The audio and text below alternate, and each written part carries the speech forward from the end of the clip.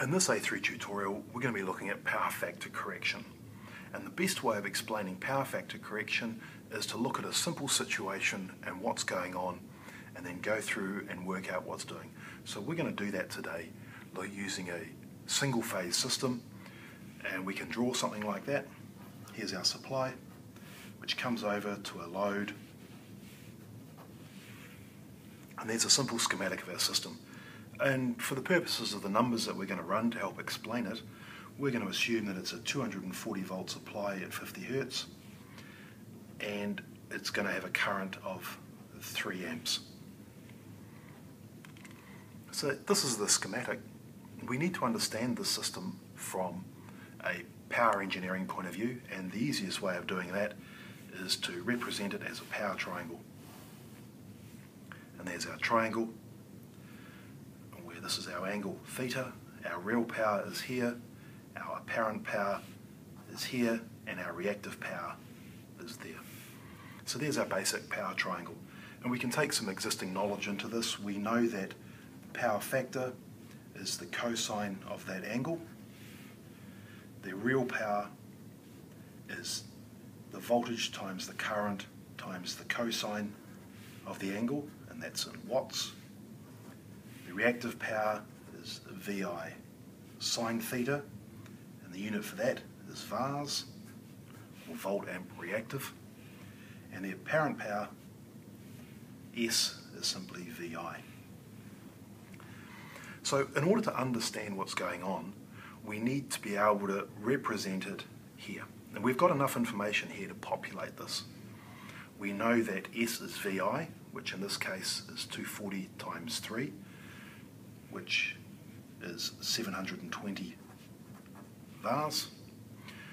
We know that well, we need to we need to know what the existing power factor for the system is, and we're going to call it say 0.8. We'll assume that this system is a power factor of 0.8 lagging. So we know power factor, we've assumed it for the purposes of this, so therefore we can work out our angle. So therefore our angle is inverse cosine of our power factor, which with a power factor of 0.8 gives us 36.87 degrees.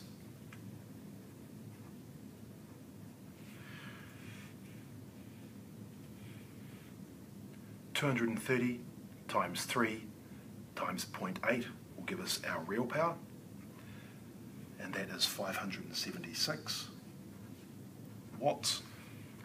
Voltage times current times the sine of that angle will give us 432 vars in this particular situation. In order to address a power factor problem, we must know what the situation is, and here we have it now. We've gone through, taken some basic values out of our schematic and populated our power factor triangle. We can't do anything without that. The whole objective of power factor correction is to try and adjust this number here. Usually we want to what we call decrease the power factor, which means make that number closer to 1. And that, okay, so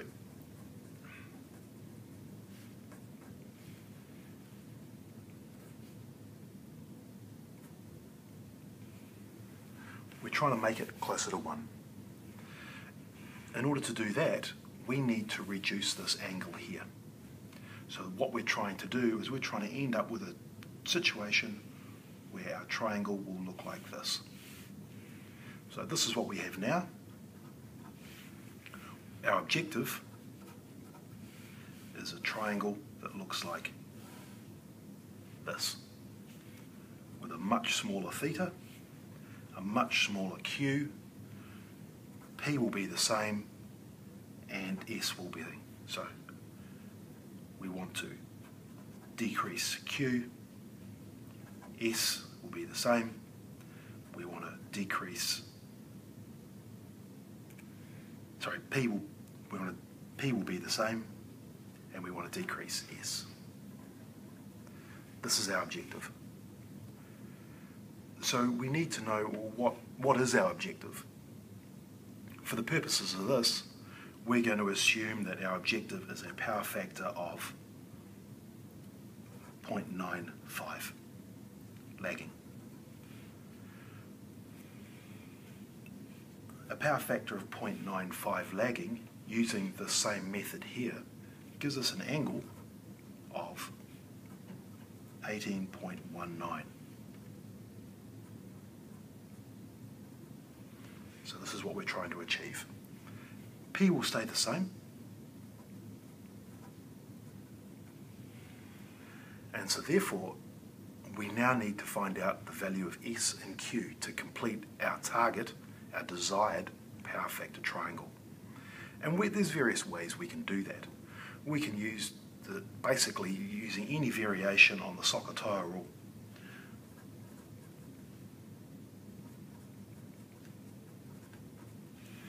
The way is a way of remembering that if we know any two of these four, we can find the others.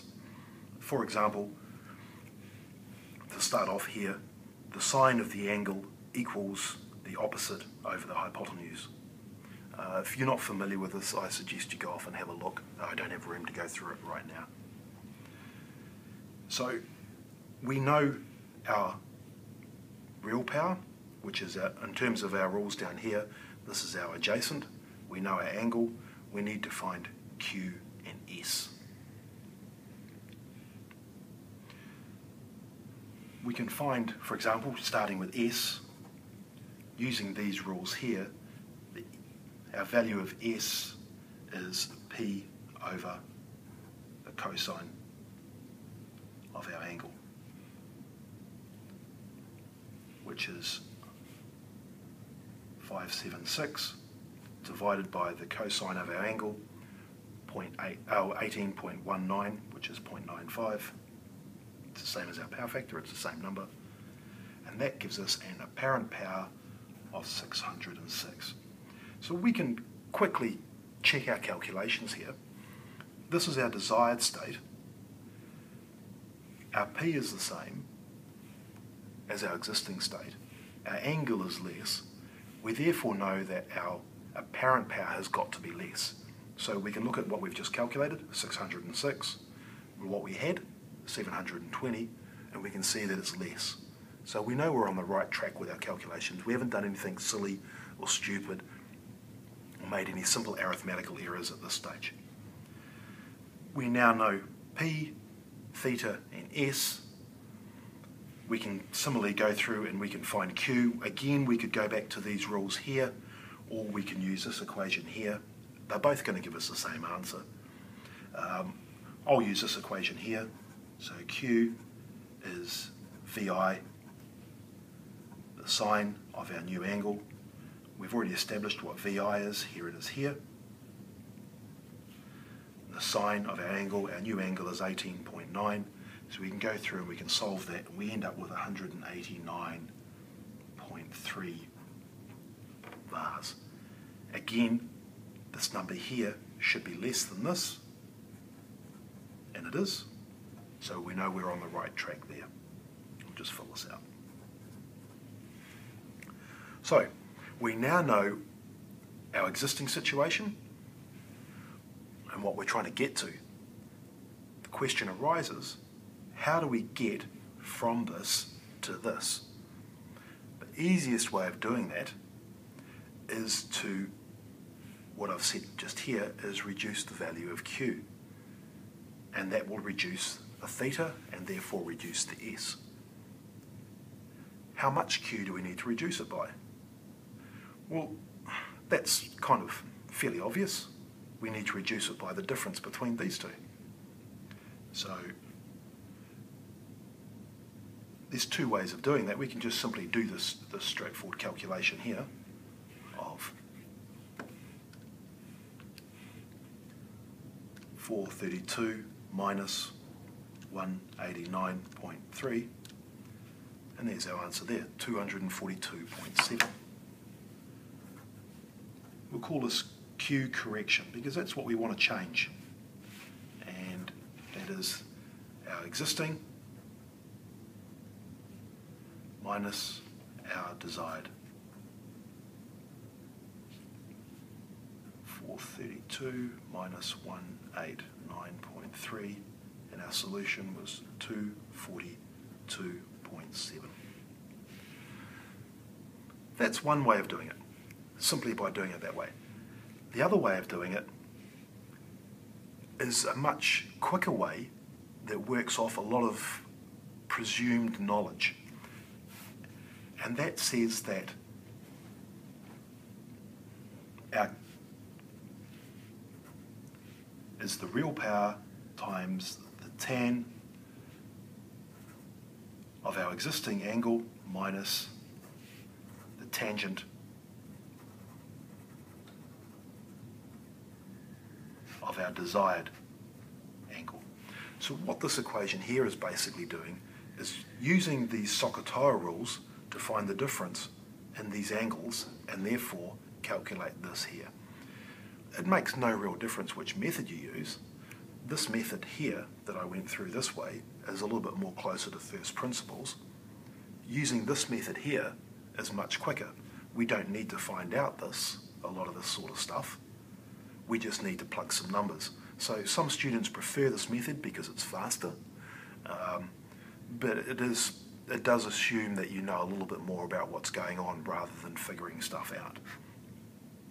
And if you go through and you, you crunch those numbers here, so our power is 576 times the tangent of our existing angle of 36.87 minus the tangent of 18.19, you will end up with the exact same number, 242.7, give or take a few rounding errors.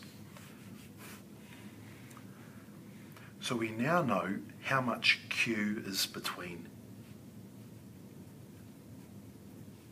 here, which is our existing situation, and where we want to be, at 189, which is what we've estimated here.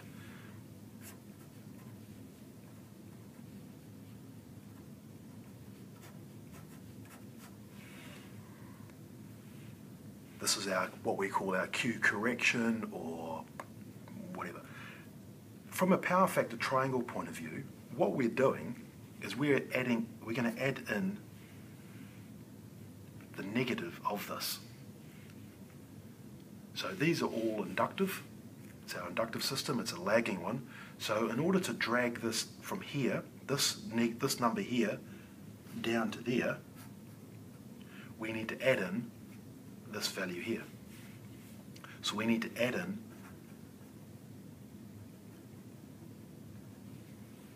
sorry, 240, wrote the wrong number, 242.7.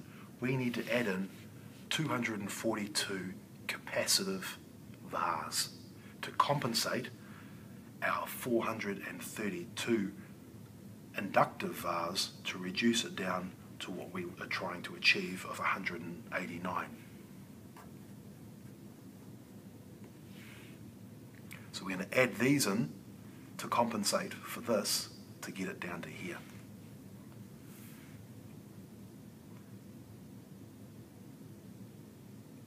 How do we add in 242 capacitive VARs? We need to add in some capacitance. So the question is, how much capacitance? And there's one equation that kind of uh, helps us jump along a little bit here, and it says the amount of capacitive reactance we will need is the square of the voltage over the capacitive reactance we're after. So that's 240 squared divided by 242.7 and that gives us a solution of 237.35 ohms. So we now know how much capacitive reactance we need to give us this to end up with that. From here, this is a good expression, but we still don't know how big our capacitor needs to be. This equation here can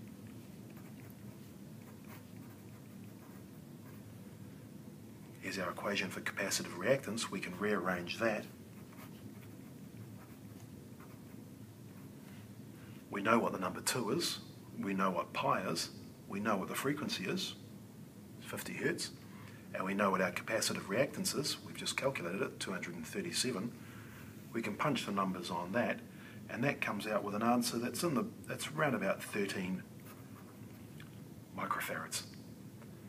So we now have a value of capacitance which at 50 hertz will give us a capacitive impedance of 237 ohms, which in itself would provide 242 capacitive vars. We can take that 242 capacitive vars, put it into our system. The 242 capacitive vars will offset the 432 inductive vars to give us a net result of 189 inductive vars. 189 inductive vars will give us a power angle, a power factor of 0.95 and an angle of 18.19. So we can go back to our existing system here and we can simply add in our power factor correction capacitor of 13 microfarads.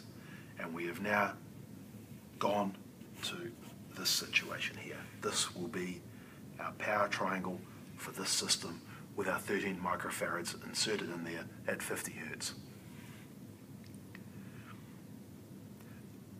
One just quick final note, it's important to note that the frequency of the system makes a big impression on this because the frequency affects our capacitive reactance, which will affect our vars, which affects our whole system. So our system frequency is quite an important thing. Thanks for watching.